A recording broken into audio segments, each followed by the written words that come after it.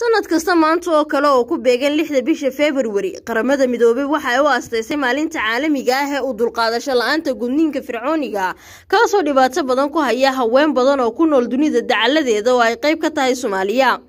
Gudniinka fircoonigii waa xadgudub ba'an oo xuquuqda aadanaha ah kaasoo waxyeelo qoto dheer oo raagto ku sababa haweenka iyo gabdhaha dunida oo dhan gaar ahaana gabdhaha ku jira da-da qaangaadhka iyo sidoo kale da-da dhalmada sanad walba. Warbixin ay soo saartay qaramada midoobey waxaa lagu sheegay in in ka badan afar milyan oo gabdho ah ay khatar caafimaad ay ugu jiraan habkan tacadiga daran ah.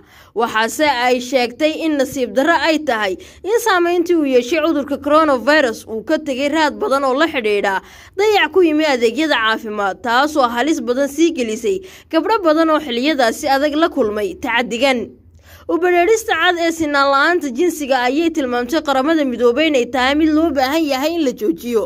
Sidoo kalena waxaa la doonayaa maalgelin deg deg ah iyo tallaabooyin waqtiyeysan kuwaasoo suuragelin kara in la gaadho tiigsiga yoolasha horumarka waare ee ciribtirka gudniinka fircooniga oo ugu dambeyn qaramada midoobey ay caddaysay in yoolkeedu uu yahay in dhammaadka sanadka labada kun iyo soddonka ah ay soo gebagabaysa ah arrintan iyadoo sidoo kale sheegtay in doonisteedu ay tahay dhisidda duni tixgelis sharafka iyo ayakatashiga haweenka oo aan loo baahnayn in wixii xilligaasi ka dambeeyey uu sii jiro magaca loo yaqaano gudniin fircoone.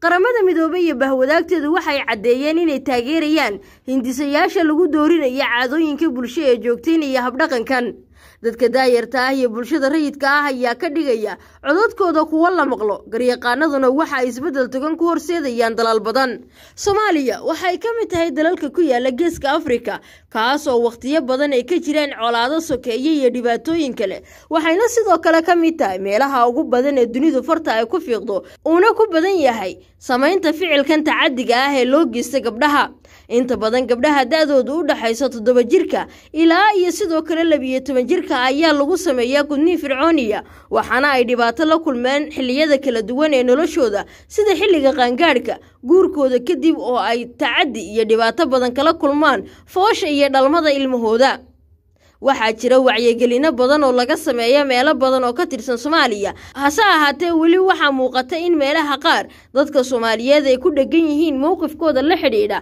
Aaminsanaanta in gudniinka fircooniga ah uu yahay mid ka muhiimsan gudniinada kale ee inta badan lagu sameeya gabdhaha. Xogayaha guud ee qaramada midoobey oo ka hadlay maalinta caalamiga ah ee dulqaadasho la'aanta gudniinka fircoonigii waxa uu tilmaamay in muhiim ay tahay in wixii ka dambeeya laba kun iyo soddonka la soo abjaro samaynta tacadigan iyo waxyaabaha ku hareeraysan. Soomaaliya marka la joogo waxaa jira gabdho badan oo soomaaliyeed kuwaasoo sameeya ololeyn la xidhiidha sidii lagu soo afjari lahaa gudniinka fircooniga. Ifraax axmed oo ku magac dheer ifraax foundation waxay qayb ka tahay gabdhaha wakhtiga dheer u ololeynaya soo afjaridda gudniinka fircooniga waxaana ay sheegtay in ay jireen xilliyo ay caqabado kala duwan la kulmi jirtay. Waxayna sidoo kale tilmaamtay in hadda ay u muuqdaan dadka soomaalida ah inay isbedeleen waa tan iyadoo ka hadlaysa arrimaha la xidhiidha f g m-ka sida ay soomaalida ku tahay iyo kaalinta ay iminka kaga jirto iyadoo ugu dambeyntii baaq u dirtay culimada iyo hooyooyinka soomaaliyeed kuwaasoo looga baahan yahay in door libaxle ay ka qaataan arrintan gebagabaynteeda soomaaliya boqolkiiba sagaashan iyo sideed gabdhaha waa la gudaa. Sida ay unisef xoogta ay mar hore soo saareen ay tahay. Hadda xog oo sax ah oo cadeen ma hayno laakiin xogog ay sameeyeen un f b a oo kale xog ay sameysay sidoo kale in oo gudniinka aada u kordhay. Sababtana ay tahay cudurka safmareenka ah markoo bilowday adduunka wacyigelintii ay yaraatay. Ilmihii dugsiga qur'aanka aadayay aadista ka joogsaday. Taasna saameyn ay ugu yeeshay in gudniinkii u saro kaco. Balse anaga ma ka daalno wacyigelinteena waa wadnaa oo mataqaanaa bulshada waa ka wacyigelinaa. Culimmada sidoo kale ayagana ayagoo oo siyaabo kala duwan uga hadlayo oo qaarna fircooniga dhaha qaarna sunnada way ka hadlaan laakiin mataqaana wariyaasha sidoo kale ayagana aday uga hadlaan horta saa ognahay wadankeena dowlad waa iska heysana maogiye meelaha qaar markaa tagtid dhibaatooyin aada u badanaa ka jiro. Sida kufsigoo kale waxaa arkay hooyo waayeel oo la kufsaday. Waxaa arkaysaa gabar yar oo maaragtay gudniinka fircooniga ama gudniin gabdhaha lagu sameeyey oo isla markaas maaragtay la kufsaday midi lagu kufsaday. Wadanna wuxuu hagaagaa amba dadkiisa ay badbaado helaan markii dowlad ay haystaan amni ay haystaan koley waxawaaye in la helo amni in la helo mataqaanaa siyaasad lagu mideysan yahay. Markaas bulshada badbaado way helaysaa. Dhibaatada hadda wax keenaya waxay tahay hadda xilligan kala guurkao kale dhibaatada aada u badan tahay ee tacadiga haweenka waxaa rajeynayaa in mataqaanaa soomaaliya ayaga ay naqdaan dad isku tashtay oo ayaga wax qabsaday hadda maadaama adduunka horumar gaaray boqolkiiba todobaatan iyo shan dhalinyaro waayo dalkeena. Qof walba wuxuu isticmaalaya smartphone. Waa aragnaa social media markuu dhibaato dhaco yani waa laga hadlaa. Laakiin waktigaas la joogo waxaa naqanaa dad aada qalbiga ugu dhaawacmay oo ka hadlo oo yani qiiroodo calool xumaada. Laakiin markii sheekadaas ee meesha ku ekaato waa la joojina horta waxaa leeyahay maamooyinka firi hadda ka hore waxaa jirtay marka soomaaliya ku imaaday hooyooyinka la kulmay waa la hadlaya marka waxay ku leedahay ah ani waa laysoo guday doofaarta markaa dhalay dhibaa soo maray ida dhibka aragta waa guda. Waxaa rabaa fikirkaas inuu bedelmo hooyadii inay ku fikirto markii la guursada dhibay martay markii dhiiga caadada ku dhacay dhibay martay markii mataqaana ee ida dhalaysa dhibay martay. Marka inay ka fikirto dhibaatadaas dhan ee soo martay inay gabadheeda marsiin sababtoo ah dhibaatada way og tahay. Haddii adoo og inaa dhib soo martay gabadhaada amar siisid micnaheeda waxa waaye sidii hooyada adiga ay kuu kolkolinaysa markuu dhiiga caadada kugu dhaco lagu dhahay biyo kuleel cab amba mataqaana shaa cab waa roonaanaysa tiyaa sameynaysa.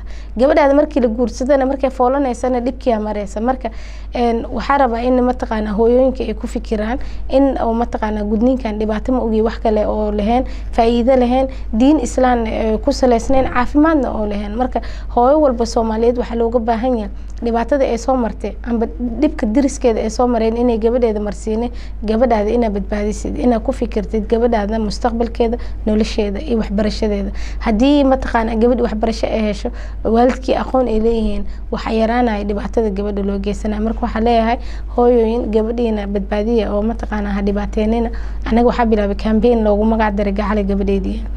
Sababta gacale gabadheedii aa u sameyn waxay tahay hooyo badan markaa arkay dhahayaan qumayda aan waa laysoo guda iidan oo guda. Taasaa ka xumaaday ka ciishooday saas darteeda waxaa ku fikiray inuu hal weji amba hal dhinac iskala soo jeesano hooyo walba ay qaadato go'aanka ah. Anigaa laysoo guday gabadheedii maraba inaa ku guday ina waxbaratid ina mataqaana mustaqbal yeelatid because gudniinka dhibaatadiisa waa ognahay culimmada soomaaliyeedna waxaa kula talinaya iyagoo oo mataqaana diinta islaamka wax nagu fahansiinayo yacni inay mataqaana bulshada u sheegaan dhibaatada diinta oo yacni gudniinka leeyahay iyo diinta islaamka waxay ka qabto. Anaga waxa diinta islaamka baxsan ma sameynayno waa ognahay diinta waxay ka qabta gudniinka in xubin oo yani qof ilaahay meel oo ka xaaraantimay ay jiran la jaro. Waa dhibkeeda leedahay culimmada waa sheegeen in ayagana wacyigelintaas nala qaataan wariyaashana waxaa kula talina iyagana sidoo kale. Idaarus magane c b a t v muqdisho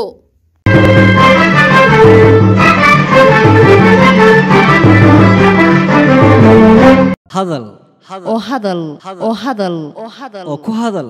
Bishii oo dhan toddoba dollar. oo keliya. Ku darso fariin kasta oo aad dirtaana waa kuu bilaash.